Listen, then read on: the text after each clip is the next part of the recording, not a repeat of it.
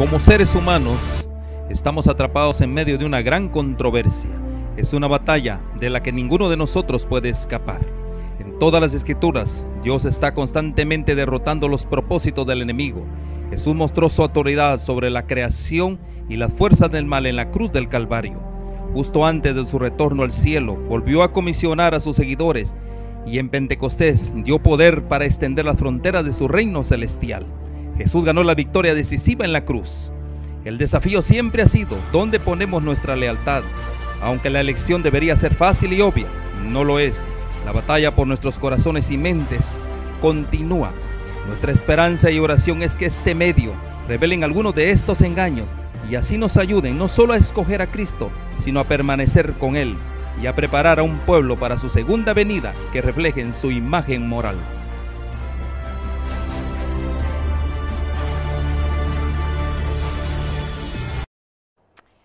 Muy buenas tardes tengan cada uno de ustedes. Bienvenido a los estudios bíblicos del libro de Tito, de Tito hoy en día. Como siempre me acompaña el hermano Sebastián. Muy buenas tardes, hermano. ¿Cómo está usted? Bien, gloria a Dios, ¿cómo usted esté? Muy bien, gracias. ¿Cómo están? Dios le bendiga. Antes de comenzar, me gustaría, hermano, tener una pequeña oración y si usted podría dirigirnos en ella. Muy bien, vamos a orar. Maravilloso y buen Dios, ante su presencia, sus hijos, inclinamos nuestra cabeza en señal de reverencia de que tú eres Señor, nuestro Dios, nuestro Creador, Hacedor, Redentor, y quien sustenta la vida de cada uno de nosotros y de nuestros hermanos allá en la distancia. Una bendición muy especial sobre ellos y cualquier necesidad que tengan. Su Espíritu Santo consuele sus almas. Tráiganos, Señor, el alivio, el aliento para exponer su palabra y reconocer los requisitos que tú pides de uno que aspira a servir en tu causa. Bendícenos pues con tu presencia. Lo solicitamos en el bendito nombre del Señor Jesús. Amén. Amén. Estábamos estudiando en la, en, el, en la sección anterior de cómo fue que Pablo dejó a Tito encargado en, en la iglesia de Creta, Creta, siendo, siendo un, un nuevo, una iglesia nueva, sin organizada, no estaba organizada, por lo tanto era esencial de que esa iglesia estuviera organizada y bien dispuesta para eh, asistir a otros. Así es que uh, Pablo le dejó específicamente dicho a Tito los requisitos que debían de tener cada uno de los dirigentes de, de las iglesias. Y para comenzar, vamos a leer en Primera de Timoteo 3.1 que dice, palabra fiel, si alguno anhela obispado, buena obra desea. Pero es necesario que el obispo sea irreprensible, dice, marido de una sola mujer, sobrio, prudente, decoroso, hospedador, apto para enseñar. Y así muchas más que vamos a ir este, desarrollando y viendo las cualidades que Pablo este, especificó a, Tito para que viera las cualidades en cada, en cada candidato.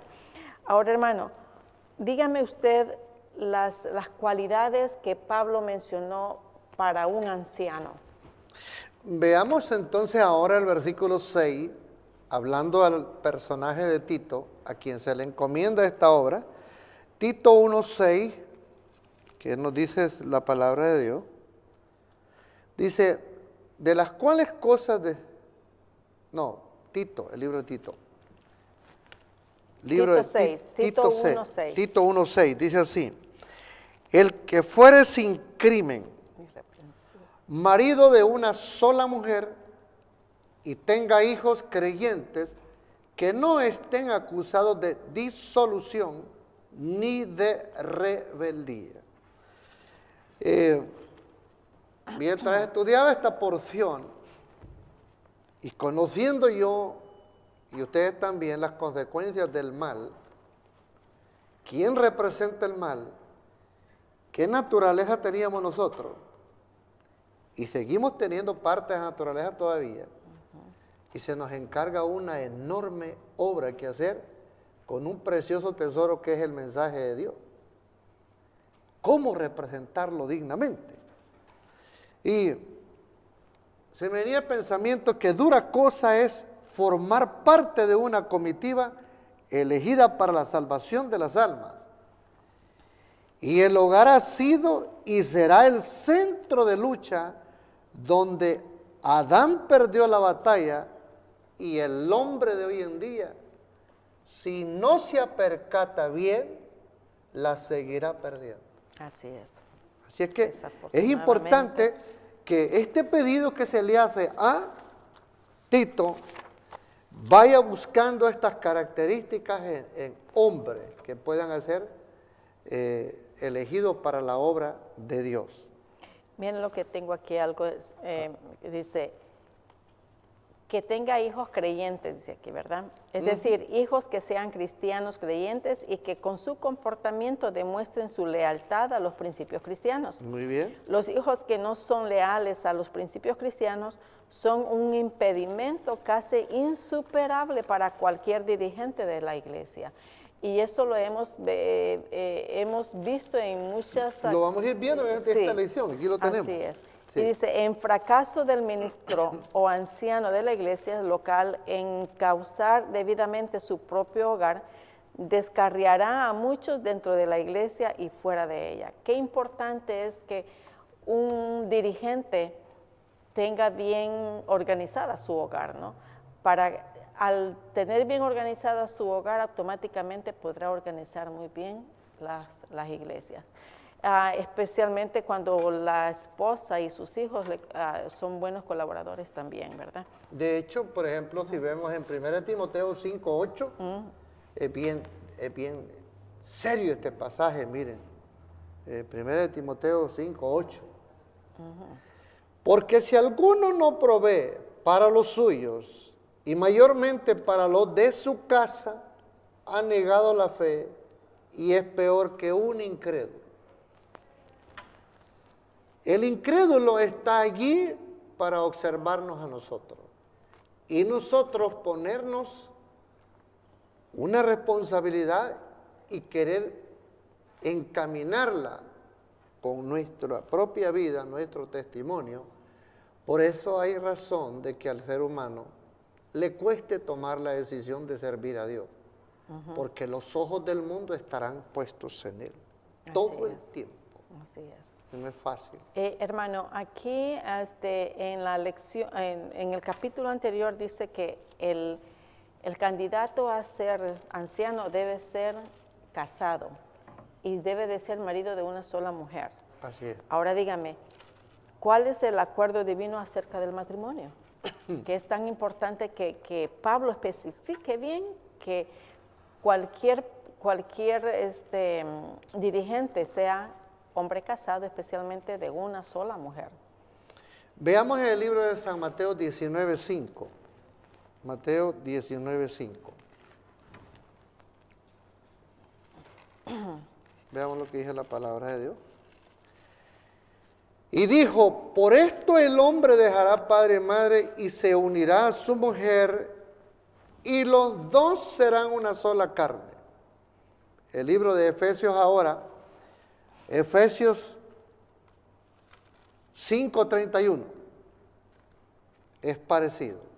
Por esto dejará el hombre a su padre y a su madre y se unirá a su mujer y los dos serán una sola carne. Los que son cristianos, padres cristianos, tienen hijos e hijas y tienen que eh, compaginar, diría yo, los sentimientos y todo ya en familia, si se conllevan bien eh, las dos personas, la muchacha y el muchacho, y las familias saben el, el, deber que tienen, tienen para con Dios, no les costará entender de que un día esa muchacha les será quitado de la casa o el varón también. Pero hay un asunto natural que tienen, que padecemos los papás, que pareciera ser que existe ese pasaje bíblico y somos un poco posesivos. No queremos resignarnos a perder la hija o el hijo. Y todavía tenemos pleitos allí, roces y todo, y aún alcanza a la familia más allá del muchacho o de la muchacha. Y no debe de ser así. La palabra de Dios está bien claro. Para ser efectivos en la causa de Dios hay que entender todas estas cosas. Aconsejarlos a debido tiempo para que sepan elegir también. Hay un dicho que dice, el casado casa quiere, ¿verdad? Ah, sí. Pero también hay otro que dice, el propósito de Dios es, es que el matrimonio sea una asociación de por vida. Ah, por lo tanto, toda sociedad que trata livianamente esta institución divina lleva en su seno la semilla de su autodestrucción. La familia es una parte de la sociedad ah, supremamente importante para jugar descuidadamente con ella. Cristo también desea que su unión con su pueblo sea eterno. Ah, Usted dijo eh, lea un poquito al principio la nota que leyó y yo le voy a pare. El propósito de Dios es que el matrimonio sea una asociación de por vida. Por lo tanto, toda sociedad que trata livianamente esta institución divina lleva en su seno la semilla de su autodestrucción. Hasta ahí no. Recordemos un poquito que hay ciertas características que nosotros debemos de considerar y a veces por ciertos impulsos no las tomamos en cuenta y allí está el fracaso. En Génesis 2.18 dice la palabra de Dios bien claro, miren, les leo aquí. Y dijo Jehová Dios, no es bueno que el hombre esté solo, haréle ayuda idónea, dice ahí todo. Versículo 21 ahora. Veamos el versículo 21 en adelante. Entonces Jehová Dios hizo caer sueño profundo sobre Adán y mientras éste dormía, tomó una de sus costillas y cerró la carne en su lugar. Ve el proceso, ¿eh? Es Dios el que dijo que no era bueno que el hombre estuviera solo. Es Dios el que toma la iniciativa para formarlos a los dos hijos y todo. Versículo 22. Y de la costilla de, Eh, y de la costilla que Jehová Dios tomó del hombre, hizo una mujer y la trajo al hombre. Veamos la escena. No la ha visto todavía Adán, pero deje que la vea tantito. Piense usted cuando vea a alguien también, o cuando lo ven a usted. Ahí está el problema, ahí está el problema. Ahora vamos al versículo 23. Dijo entonces Adán, esto es ahora hueso de mi hueso y carne de mi carne. Esta será llamada varona porque de él varón salió. ¿Qué les parece si veamos el capítulo 3, versículo 6? Y vio la mujer que el árbol era bueno para comer. ¿Qué dice que? Vio. Adán vio a la mujer también cuando Dios se la trae. Me imagino yo cómo se puso ese hombre de entusiasmado. ¿Eh? Cuando vio a esa gran mujer hermosa que Dios hizo. ¿eh? Aquí ve el problema cuando uno ve, y vio la mujer que el árbol era bueno para comer y que era agradable a los ojos y árbol codiciable para alcanzar la sabiduría, y tomó de su fruto y comió y dio también a su marido, el cual comió a sí mismo como ella. Capítulo 2, versículo 16 y al 17. Veamos esta otra lección que aprendemos. Y mandó Jehová Dios al hombre, diciendo, de todo árbol del huerto podrás comer. Versículo 17. Más del árbol de la ciencia del bien y del mal no comerás, porque el día que de él comieres, ciertamente morirás. morirás. Y aquí comienza la lucha hasta el día de hoy. ¿Por qué?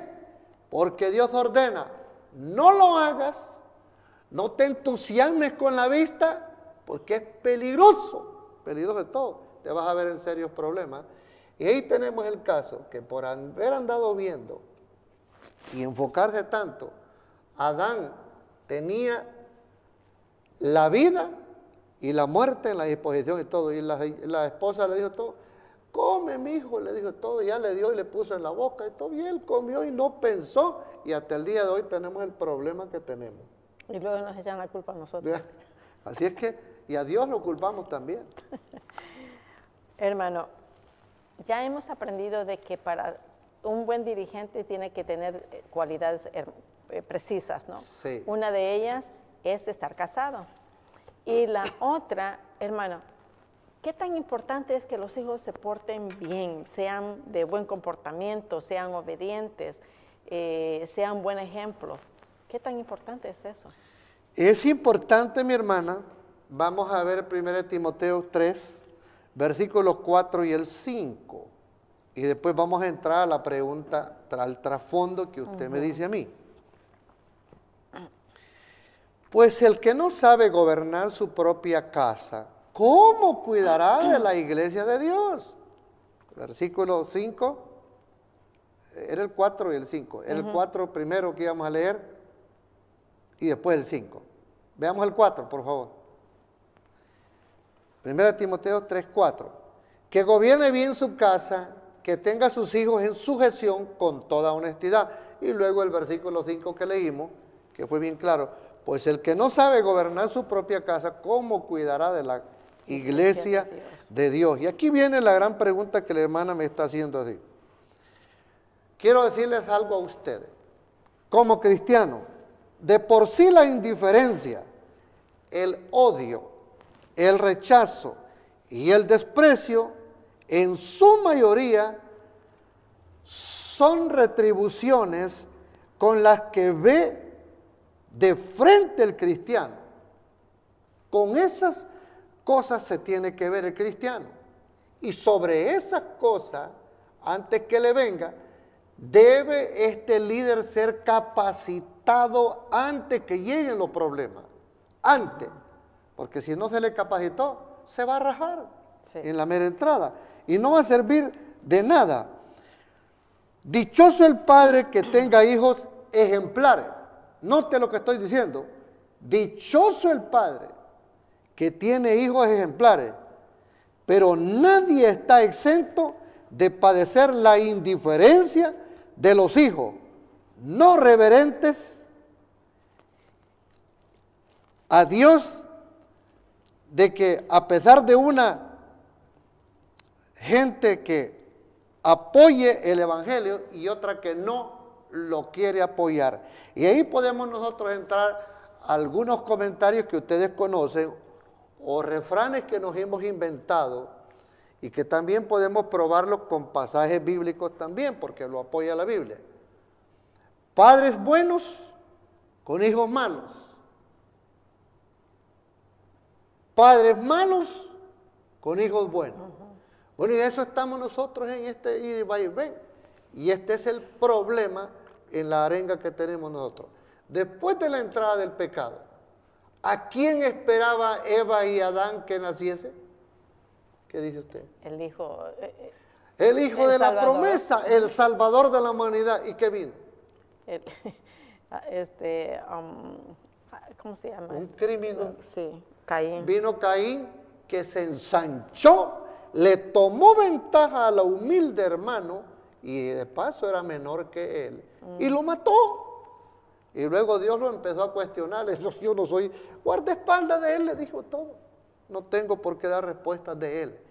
Y ahí empezó Dios a conversar con él que por qué se había él ensañado. La inocencia de él, le dijo. La injusticia que él hiciste, clama a mí, le dijo, por justicia. Y ahí entró Jehová hablando con él. Pero yo tengo una cita aquí que quiero que la consideremos juntos concerniente a la respuesta. También hay hombres en la, en la iglesia que son entregados a las cosas de Dios. Y que sin embargo el pueblo le sigue y le apoya, a pesar de que le cueste ganar la lucha que lleva en su casa. Sin embargo, el pueblo le ayuda, lo apoya. Es interesante que el líder que reúne las condiciones de, esa- de esa- de esos requisitos, él en primer lugar las ponga en práctica. Luche, trabaje con su familia, todo, todo, para que Dios le haga el milagro a todo el equipo que convive junto en la casa. Vamos a buscar entonces un ejemplo que está en 1 Samuel 8 y vamos a leer del 1 al 7. Primera de Samuel 8. Aconteció que habiendo Samuel envejecido, puso a sus hijos por jueces sobre Israel. Versículo que sigue. ¿Y el nombre? Y el nombre de su hijo primogénito fue Joel, y el nombre del segundo Abía. Y eran jueces en Birseba. Berseba. Pero no anduvieron los hijos por los caminos de su padre, antes se volvieron tras la avaricia y dejándose sobornar y pervirtiendo el derecho, sigamos leyendo, vamos a leer hasta el 7. Entonces todos los ancianos de Israel se juntaron y vinieron a Ramá para ver a Samuel, versículo 5. Y le dijeron, he aquí tú has envejecido y tus hijos no andan en tus caminos, por tanto constitúyenos ahora un rey que nos juzgue como tienen todas las naciones. Versículo 6. Pero no agradó a Samuel esta palabra que dijeron, danos un rey que nos juzgue.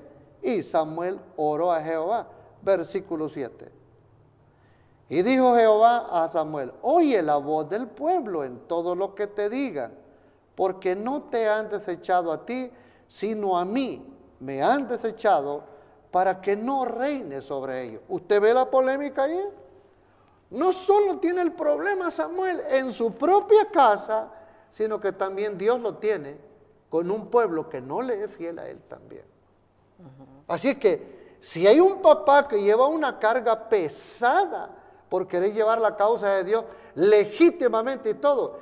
Y ora constante, trabaja constantemente con Dios y todavía no llega el milagro, y todavía no llega el milagro. Todos tienen que desarrollar una paciencia mutua y estimarse los unos a los otros y sobrellevar las penas y todo.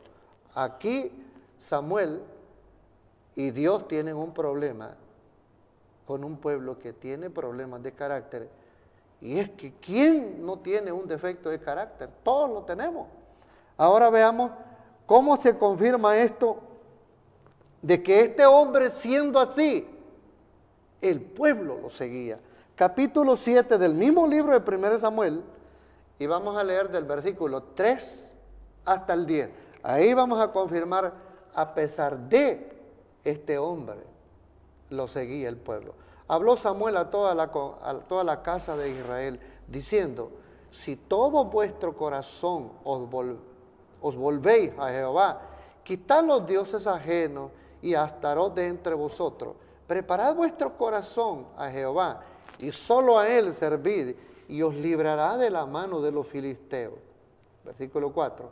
Entonces los hijos de Israel quitaron a los Baales y a Astarot y sirvieron solo a Jehová. Versículo 5. Y Samuel dijo, reunid a todo Israel en Mizpa y yo oraré por vosotros a Jehová. Versículo 6.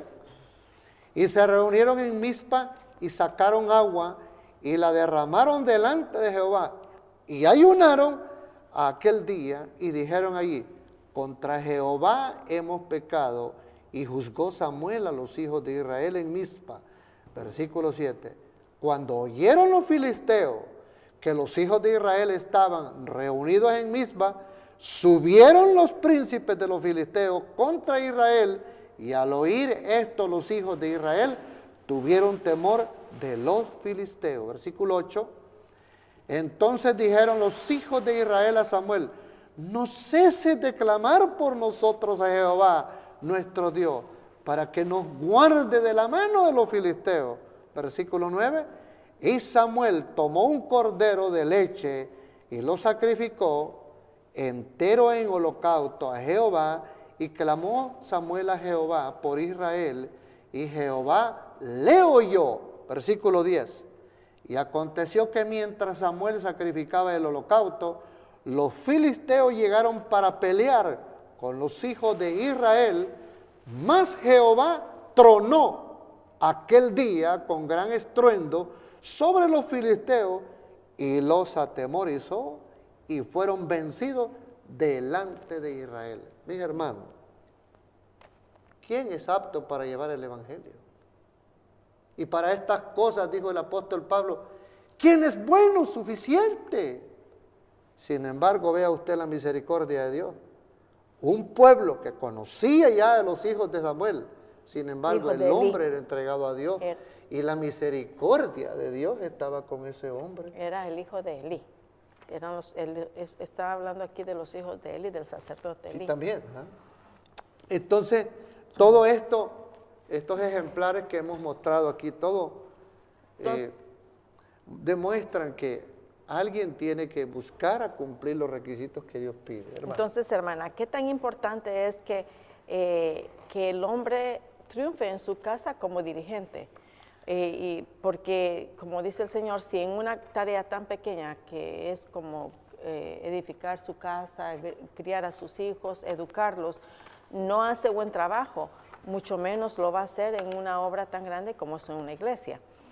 Ahora, será incapaz de tener éxito en una tarea mayor, dice, de supervisar a las muchas familias que componen una congregación o grupo de iglesia. Dice, los hijos del ministro deben demostrar por su comportamiento obediencia y circunspección que respeten a sus padres. Los hijos de Eli, dice, que el, ejemplo que usted estaba poniendo eh, hace unos segundos, que eh, en realidad eh, el, el, sacerdote Eli era un, gran, era un gran sacerdote, pero como padre fracasó completamente, ¿verdad? Ahora dígame, hermano, uh, ¿cuál es es el acuerdo, eh, ah, mejor dicho, qué tan necesario, no, permítame, no es este. Ah, ¿Qué debe ser un anciano de iglesia y qué rasgos de carácter no debe poseer él? Sabemos que todos tenemos, tenemos imperfecciones, ¿verdad? Como seres humanos. Así es. Pero, ah, por lo tanto, un hombre tiene todas las características de ser imperfecto. Pero, ¿cuáles son las características que un líder debe de tener y qué carácter especialmente debe de tener esa persona? O debe de superar si tiene un defecto. Ahí está la pregunta. Tenemos que superarlo, ¿verdad? Okay. Versículo 7, hablando del libro de Tito, capítulo 1. Versículo 7 nos da una pista. Una pista. Tito 1.7. 1.7 dice así. Porque es necesario que el obispo sea irreprensible como administrador de Dios, no soberbio, no iracundo, no dado al vino, no pendenciero, no codicioso de ganancias deshonestas.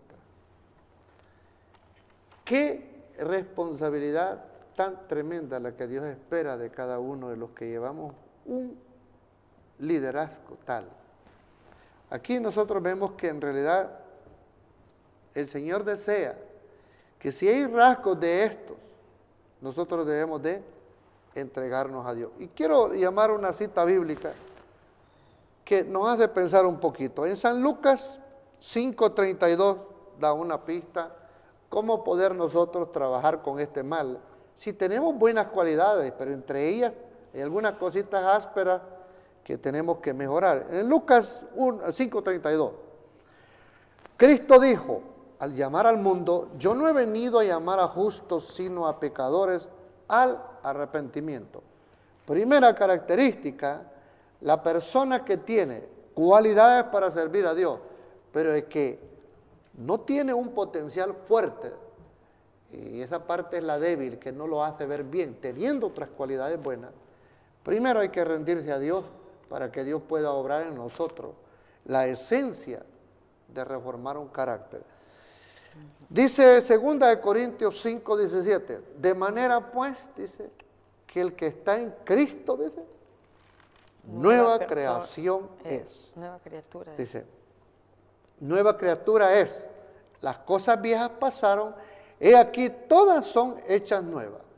Desde el mero comienzo, cuando usted y yo formamos un pacto con Dios, debemos de entender que estas cosas son verdaderas y Dios no miente. Y si Dios las deja reveladas en su Biblia, en su palabra, debemos nosotros de creerle. El problema está en nosotros que sí la creemos, pero a medias.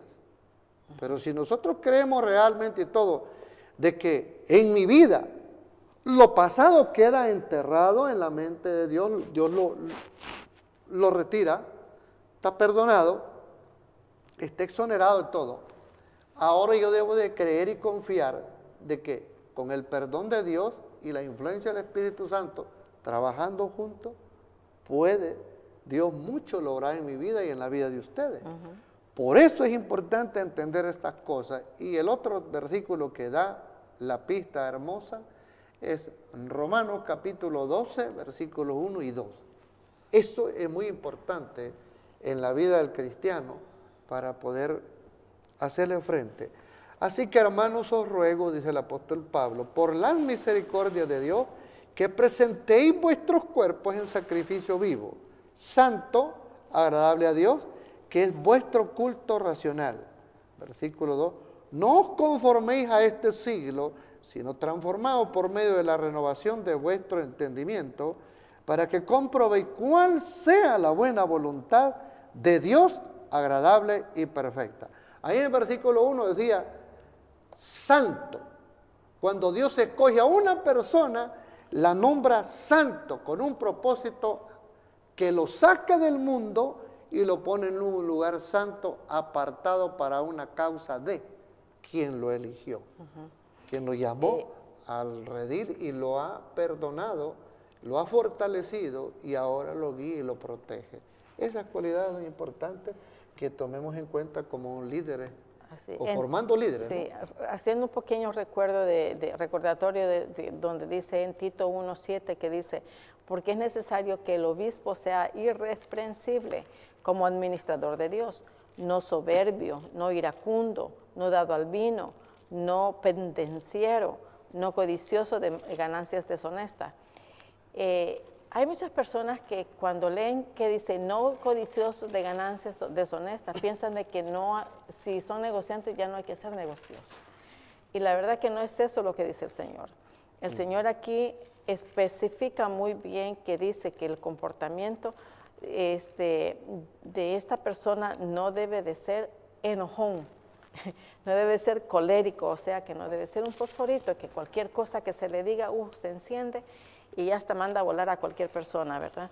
Así que ese tipo de persona, dice, no está apto, para tener ese tipo de, cargo. Especialmente, dice, no dado al vino. Ah, y que no sea condicioso, ¿verdad? O sea, que sea honesto en, todas, en todo el sentido de la palabra. Así es. Ahora bien, ah, ya que sabemos que todas esas son unas cualidades eh, bastante exigentes para, para un trabajo tan honesto como es el servicio del Señor, que este, qué admoniciones nos son dadas en cuanto a la, hospitalidad, hermano, porque eso es una de las cosas que nos exige, este, que exige Pablo, o exige eh, los requisitos de un administrador, que sea también hospedador. Yo quiero eh, que vayamos juntos y veamos la primera epístola de el apóstol Pedro en el capítulo 4, primera de Pedro, capítulo 4, versículo 9.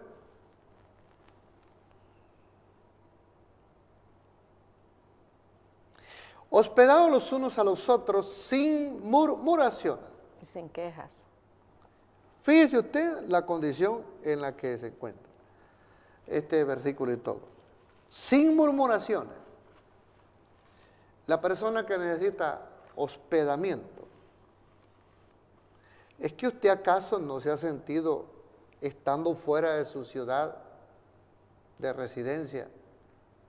¿No ve usted la ausencia de su hogar estando en el extranjero?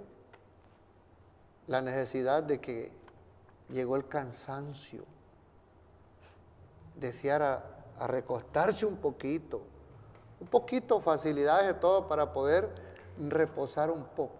Bueno, lo que está pidiendo aquí el apóstol es de todo, que cada uno de los líderes a los que se está llamando al servicio tenga un espíritu de ayudador,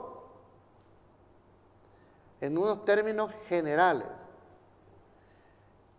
en todo caso de necesidad. Aquí dice hospedamiento y todo, pero yo diría, ayudador en todo. Esa es la característica que debe tener el líder y todo que quiera servir a Dios. no solo vamos a tener solo el, el acto de hospedador, sino que hay otras necesidades grandes, enormes, necesidades que se presentan en la iglesia. Y no podemos nosotros hacer una indiferencia con, un- con una media vuelta e ignorar la necesidad de una persona. Debemos de buscar a consolidar esos problemas de todo dentro de un núcleo de líderes de todo y buscarle una solución o por lo menos un alivio. Este, ¿cuáles, qué otras características deben de tener también, hermano? Este, no solamente son esos, son eh, en, su, en el carácter. ¿Cuáles son las características de carácter que debe tener un buen líder? En el versículo 9 nos da El 8 también. de Tito. Tito 1.9 nos da la pista de la pregunta que usted me está haciendo. 1.9. Tito 1.9. Se requiere que el líder sea retenedor de la palabra fiel, tal como ha sido enseñada, para que también pueda exhortar con sana enseñanza y convencer a los que contradicen. Miren, hermano, las iglesias tienen de todo tipo de problemas. Cristo dijo que Él no había venido a llamar a justos, sino que a enfermos del pecado. Y un pastor que dirige una iglesia, él sabe todos sus líderes que tiene y aún de qué padece cada líder. Ahora piense usted, su propia carga que trae el ministro, responsabilidades de todo, con su casa y con los asuntos de la iglesia y todo. El tiempo si le da o no le da para solventar eh, reuniones que tenga y todo. Y sin embargo, el líder no puede ignorar los problemas que se le presenten. Esto es lo que estamos diciendo, que retenga la enseñanza sana que se le dio como capacitación. Ahí está el texto y todo. Que ha sido enseñada para que también pueda exhortar con sana enseñanza y convencer a los que Contradice. contradicen. A mí me hace pensar un pasaje clave que se me viene al pensamiento porque lo uso a menudo yo. Y vamos a ver el libro de Proverbios 16, 6.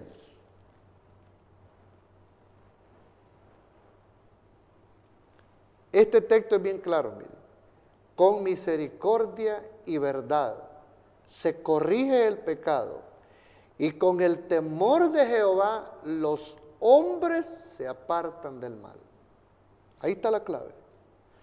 No es solo que yo tenga la doctrina correcta de todo, la enseñanza, la capacitación correcta, sino que yo tenga que tener la paciencia de escuchar a esa persona y aún pedirle permiso si yo puedo hablar o decirle algo o sugerirle algo. Y si no está en un estado de ánimo, pues orar por ella, acompañarla, decirle que estoy con ella. No decirle, no indicarle corrección todavía, a lo mejor no es suficiente. Esta cita yo la he usado en el pasado, la acompaño con otras de todo y da muchos resultados. La hermana decía que un líder no debe, no debe tener soberbia. ¿Y quién de nosotros no tiene soberbia? Si la heredamos del demonio, todavía la tenemos. El libro de Eclesiastés dice bien claro ahí, si no mal recuerdo, el- creo que es el capítulo 7, versículo 10 por ahí, dice que no existe un hombre justo en la tierra que nunca haya cometido pecado. Así es, sí. Perdón, eh, no, no es ese. Dice, el pasaje dice bien claro, no, no hay justo, Ni a un uno. dice, no hay justo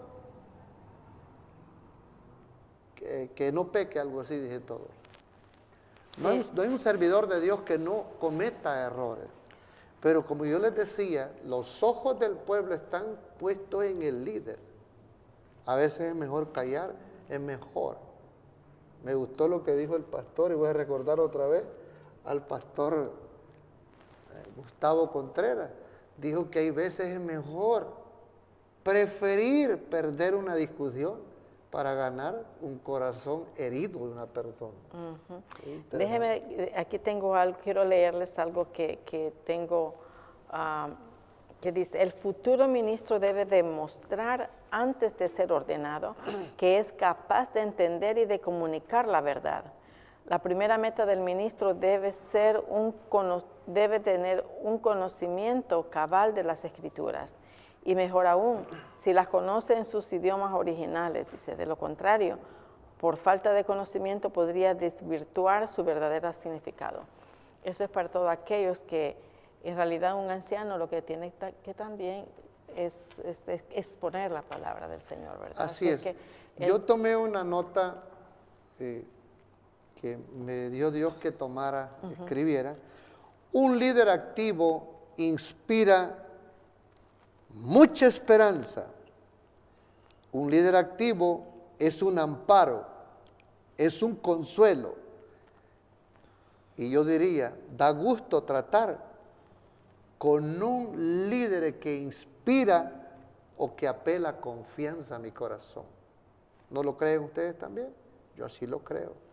Toparse con un líder así todo, da gusto estar con él, da gusto trabajar con él y todo. Y esta bases están allí, están en la palabra de Dios. Y, en las asperezas que tenemos nosotros, tenemos la fuente divina que es el Espíritu Santo. Hermano, ¿cuál sería o cuál será el resultado de aferrarse a la sana doctrina? Bien, en 1 Timoteo 4:16 dije la palabra de Dios, 1 Timoteo 4:16 Ten cuidado de ti mismo y de la doctrina. Persiste en ello, pues haciendo esto te salvarás a ti mismo y a los que te oyeren. Ese punto de partida es interesante. Eh, veamos el versículo 1 del capítulo 4, versículo 1. Pero el Espíritu dice claramente que en los postreros tiempos algunos apostatarán de la fe escuchando a espíritus engañadores y a doctrinas de demonios. Usted decía que el líder tiene que ir más allá de las cualidades, tiene que proyectarse en la enseñanza de la palabra de Dios. Tiene que tener seguridad, tiene, que, tener conocimiento, la palabra, porque lo que da eh, eh, seguridad es el conocimiento, de haber dominado el estudio. Entonces, esto nosotros lo podemos ir viendo, todos estos problemas los va encarando un líder y debe de, irlo eh, analizando poco a poco. Veamos otra cita, 2 Timoteo 4.3. 2 Timoteo 4.3.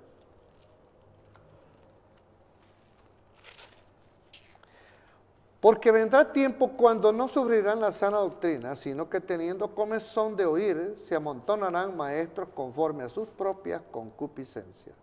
¿Cómo evitar nosotros esto? Si el mismo Señor Jesús tenía contra, contra, contrapartes en el tiempo de Él, los que no creían en la resurrección. Eran unos, los saduceos, creo que ellos eran. Ellos no creían tales cosas y sin embargo los discípulos hablaban que Cristo había resucitado. Todas estas cosas a su debido tiempo, paulatinamente irlas considerando y estudiando, que son problemas que se presentan dentro de la iglesia. Y el líder no debe ser perezoso, debe de tomarse el tiempo en combinado con el pastor de la congregación, ayudándolo y ayudándose mutuamente a llevar las cargas de las cuales Dios les hace responsables. Este, quiero leer algo que queda aquí, dice, usted leyó 1 Timoteo 4:16, ¿verdad? Sí. Y Pablo le dice a Timoteo, ten cuidado de ti mismo y de la doctrina, persiste en ello, pues haciendo esto te salvarás a ti mismo y a los que te oyeren. ¿Cómo, cómo el hermano Pablo ya visualizaba mucho más de lo que estaba viendo? Dice, el apóstol afirma la importancia capital de poseer un carácter cristiano digno de confianza como una cualidad para servir a la iglesia. El conocimiento de las enseñanzas de la iglesia es importante, pero el conocimiento nunca puede ocultar una reputación dudosa. El argumento más atrayente en favor del cristianismo no es una lógica irrefutable, sino la fragancia de una vida semejante a la de Cristo. Los que sinceramente buscan la verdad no están interesados en teorías, sino en una filosofía que transforma la vida, que puede resolver sus problemas y ayudarlos a vencer sus debilidades.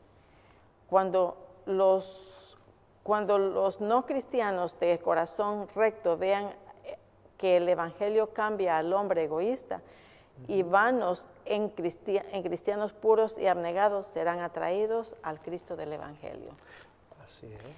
¿Cómo es que, la verdad que la prueba es, es, el mismo Pablo, porque Pablo en realidad era una persona que no tenía, era de un carácter irrefutable, de, de no, no, no se tenía ninguna duda de él, porque él era casi intachable, se puede decir. Sí, pero Pablo antes, antes estas características que hemos estudiado no estaban pulidas en su vida. Para nada. y, de ninguno, y tampoco de ninguno de sus discípulos. Tuvo que recibir un tremendo impacto con la presencia de Dios y quedar en tal situación y todo que se avergonzó. Exacto. Hasta se puso tembloroso y todo, ni, no hallaba ni qué hacer y todo. De hecho, hasta perdió la vista por un tiempo. Y de hecho, Pablo padeció mucho de ahí en adelante, porque Pablo constantemente se quejaba de un mal que él deseaba liberarse.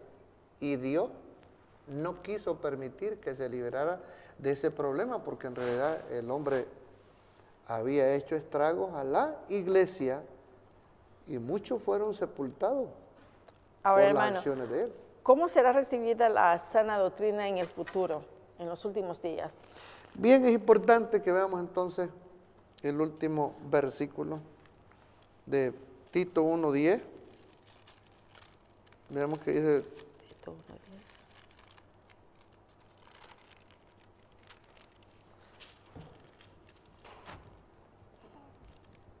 Porque hay aún muchos contumaces habladores de vanidades y engañadores, mayormente los de la circuncisión. Ahora, usted me pregunta, ¿cómo será recibida la sana doctrina? Problemas en la iglesia siempre hay, los ha habido y los seguirá habiendo. Todo esto se está dando y será en aumento más y más cuando la ciencia y su desarrollo vaya en aumento y desequilibre a la humanidad, desinteresándola completamente de las cosas de Dios. Pero en el fondo del corazón de la humanidad siempre existe un anhelo, un deseo, un gozo que no posee, de algo que no ha podido integrar en su corazón.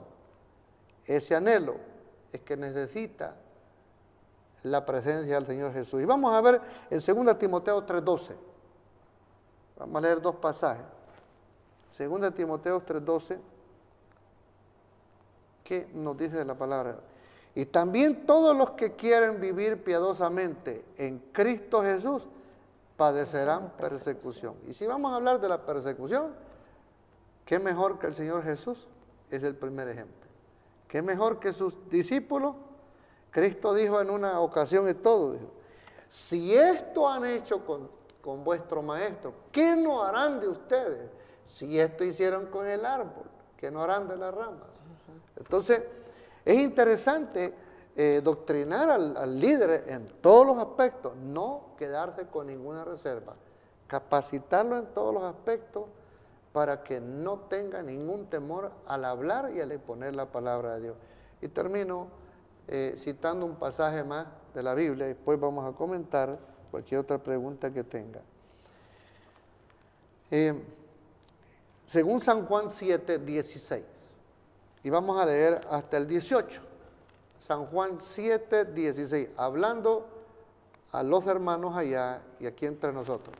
Jesús respondió y dijo, mi doctrina no es mía, sino de aquel que me envió.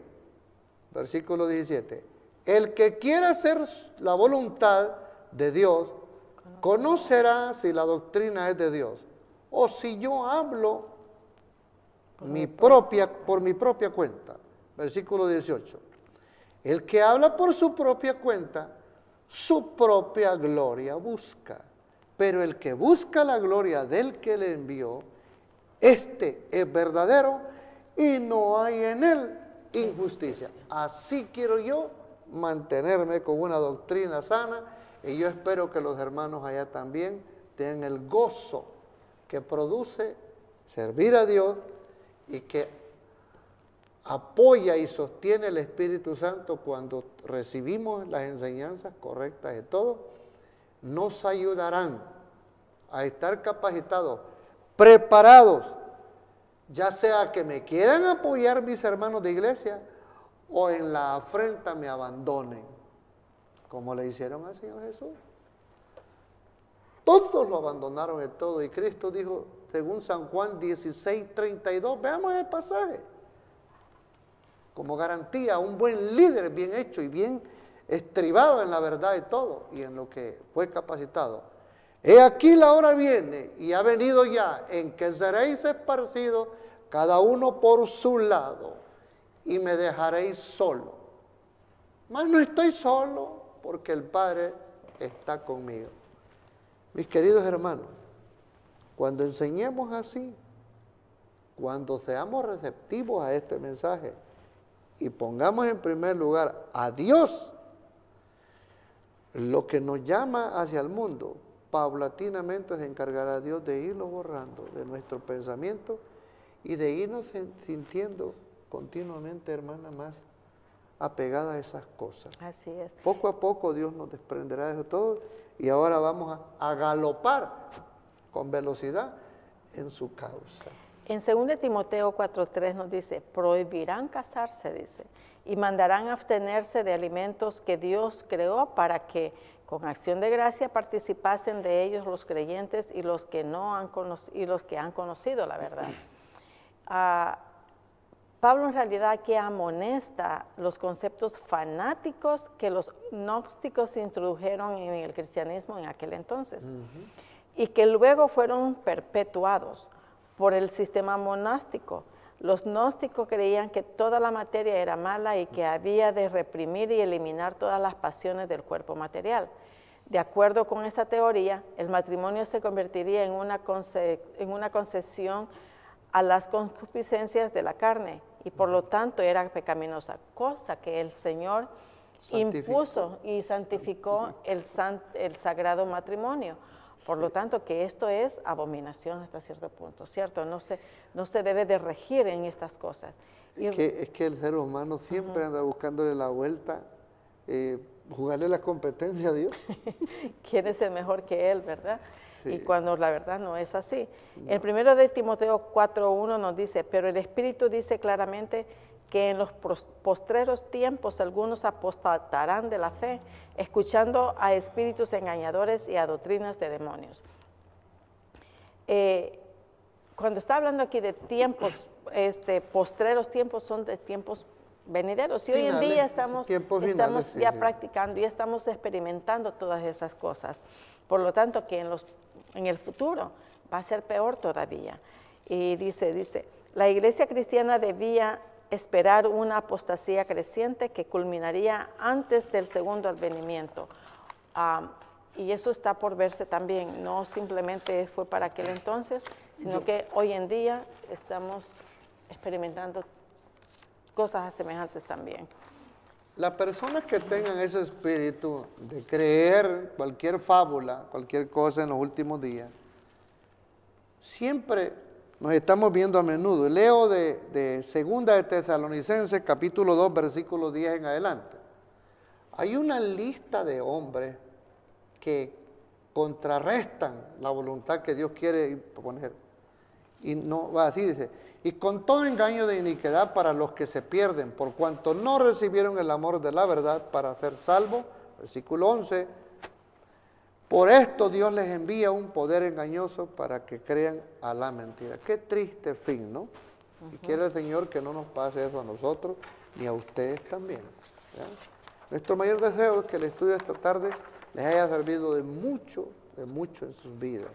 Nosotros les deseamos lo mejor y que Dios les acompañe y el Espíritu Santo también. Que tengan un bonito fin de semana y hasta la próxima. Amén. Metro Evangelización 3000.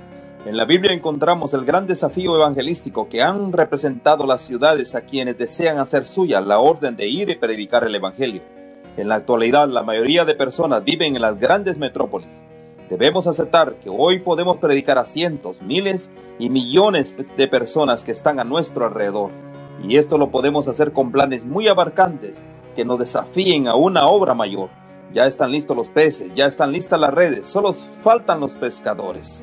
Presentamos Metro Evangelización 3000. Todos pueden hacer algo en esta obra. En estas reuniones hogareñas presentamos a Cristo a las familias. Metro Evangelización 3000, donde más de 125 ciudades serán impactadas por el mensaje de salvación de la verdad presente. Únete, acércate y forma parte de este magno evento. Abre tu hogar y sed de gran luz el Señor está esperando por ti.